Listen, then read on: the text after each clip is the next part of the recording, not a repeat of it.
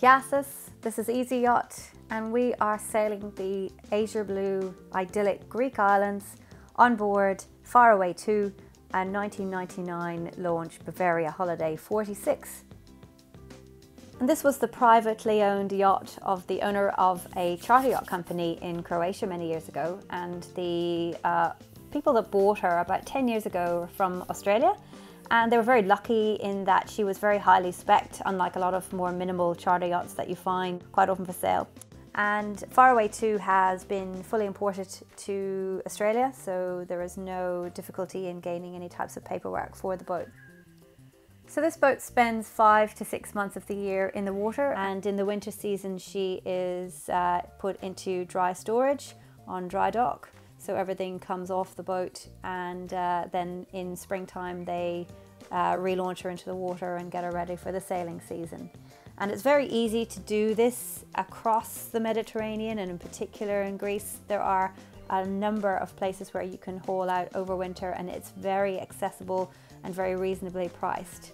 And this means that there's a very rigorous maintenance schedule that must be completed at the beginning and the end of every season. Faraway 2 has a, a, very extensive inventory and is equipped with everything that you'd need for cruising in the Mediterranean and farther afield.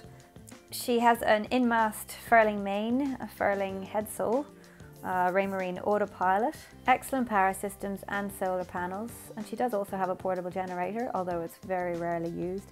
And she even has a diesel heater if you did decide to spend a winter on board. I think one of the uh, bonus features on Faraway 2 is her bow thruster because in the afternoons you can get quite strong breezes and the bow thruster is particularly advantageous when you're trying to get in and out of little small fishing ports when there are a lot of other boats competing for a spot on the quay. And it's very common to tie up stern to, so she does have all of the additional lines that you'd need she also has her gangplank, or the passerelle as it's known in Europe, which is obviously very important when you want to get off the boat and go ashore or go for tapas in a nearby taverna.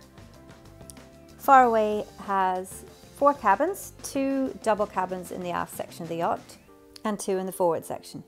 And when I asked the owners what drew them to the Bavaria holiday, they said that a 44 or 46 foot yacht is really an ideal size for cruising in the Med. She sleeps 10 and you can sit 8 to 10 people around the dining table. And the fact that she has a diesel heater means that you could spend a winter on board as well and have guests at the same time quite comfortably.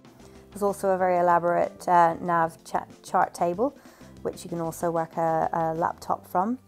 There are two heads. The aft head has a separate shower unit and the forward head has uh, an integrated shower both with hot water and there's 500 litres capacity, so plenty of water and there's always somewhere to fill up alongside in a quay.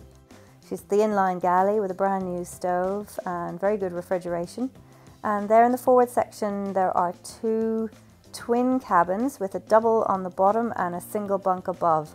And every locker has Caframo uh, fans and hanging storage and lockers and she is powered by a Volvo Penta Turbo 78 horsepower engine which is serviced annually both at the end of the season and beginning of the season so very very well maintained yacht.